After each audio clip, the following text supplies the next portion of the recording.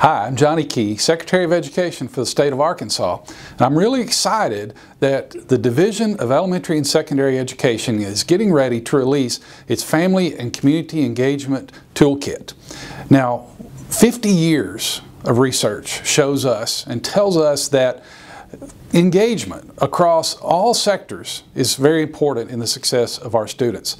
Uh, that's engagement from parents, engagement from community members, engagement from superintendents, principals, teachers, support staff, all across the board. The more support, the more engagement that we can get for our students, the better they are going to perform and the more ready they are going to be uh, in uh, preparing for their future lives through our education system.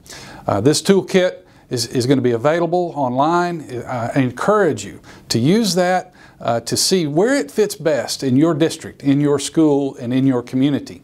Uh, as I said, I'm really excited about this. This is going to be a game changer for a number of our students around the state and encourage you to, to uh, use this and uh, make it a central part of what you do for your students every day.